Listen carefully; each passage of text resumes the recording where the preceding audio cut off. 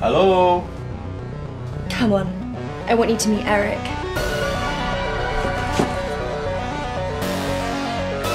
Isn't he adorable? He is something.